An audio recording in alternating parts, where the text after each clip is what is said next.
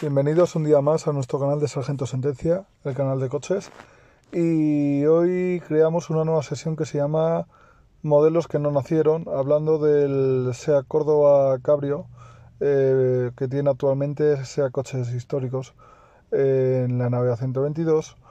Este modelo hubiera nacido el Córdoba Cabrio en 1996, junto con la presentación del restyling del modelo y la carrocería de tres puertas, eh, dos puertas denominada SX.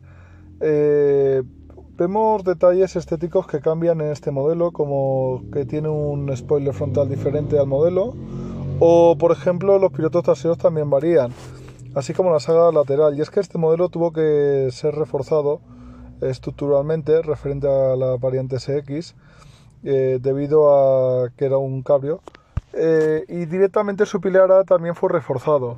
A nivel de mecánicas, hubiera contado con mecánicas tanto diésel como gasolina. Cabe destacar la 1900 TDI de 110 caballos con el código motor AFN, el 1600 atmosférico en gasolina de 100 caballos, quizá el 2000 de 115 caballos y la versión tope de gama que hubiera sido el 1.8 16 válvulas de 130 caballos, así como el 2000 16 válvulas de 150 caballos, el motor del Ibiza Cupra y Córdoba 16 válvulas. 2016 válvulas. El modelo en sí eh, cuenta con una estética increíble y es que fue diseñado por Giorgio Yuyaro, diseñador de, de Ital Design, eh, siendo directamente un modelo muy bonito y teniendo una zaga exterior verdaderamente increíble. Aquí vemos uno de sus diseños, incorporando alerón trasero y la tercera luz en el propio alerón. Eh, ya os digo que esto, y bueno, un pilar B reforzado, ya os digo que este modelo hubiese sido rival en su categoría, no hubiera tenido muchos rivales, hubiera tenido que ir al segmento superior. Y quizá uno de los motivos por el cual no salió es porque estaba el Cabrio, que era un concepto muy similar, aunque no tenía tanto maletero. En longitudes era calcado al Córdoba SX, tanto en ancho como en largo, y como os digo, su capota podía ser accionada de forma eléctrica, que es un detalle también que, que bueno, que marcaría la diferencia en este modelo. Mm, directamente no sabemos el motivo por el cual se canceló, quizá por los motivos que hemos dado anteriormente. Hubiese sido la cuarta carrocería de Córdoba, debido a que el Córdoba contó con carrocería de 4.2 puertas que se denominaba SX y el vario, que hubiese sido el familiar, a la que se hubiese añadido esta variante descapotable que no le hubiera sentado mal al modelo Córdoba eh, y que directamente pues hubiese dado ese plus eh, a la gama que tanto necesitaba SEAT a finales o mediados de los años 90.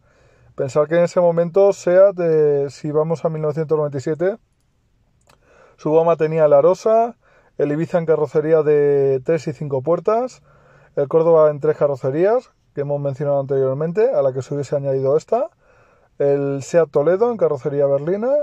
Y luego ya el Seat Alhambra, con lo cual hubiese tenido una gama de la más completa en su historia, añadiendo este Seat Córdoba. Y también una de las más interesantes, por qué no decirlo. Y es que Seat, eh, desde la fabricación del 850 Spider, en su gama no ha contado con un descapotable o mm, techo descubierto como tal, entonces eh, directamente hubiera sido un plus.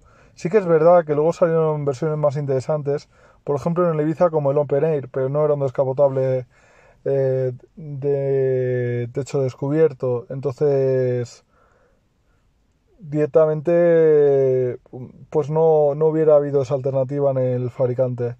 Entonces es una pena que SEAT no nos brindara esta oportunidad de tener un cabrio. Sí que es verdad que lo probó varias veces, pero al final quedó en aguas de borraja. Pero sí que es verdad que este, este modelo ya de producción, eh, que conserva actualmente SEAT históricos, pues nos hace ver la inspiración y la gran apuesta que quería hacer el fabricante lanzando este tipo de modelos al mercado eh, que ya eran coches, eh, como digo, muy acabados. en su interior hubiese sido como cualquier gama del Córdoba. Sí que es verdad que el diseño de sus asientos traseros hubiese cambiado, porque estaba pensado para para llevar a, cinco personas, eh, pero al estar descubierto pues era bastante diferente. Esto es un pequeño homenaje que he querido darle a Córdoba, ya que este año cumple su 30 aniversario.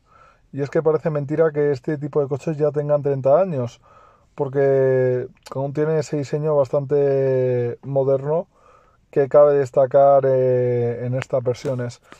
Eh, con esto ya directamente quiero despedirme hasta el próximo vídeo. Espero que estas nuevas sesiones os vayan gustando, que vayamos subiendo más contenido y que vayamos conociendo más modelos.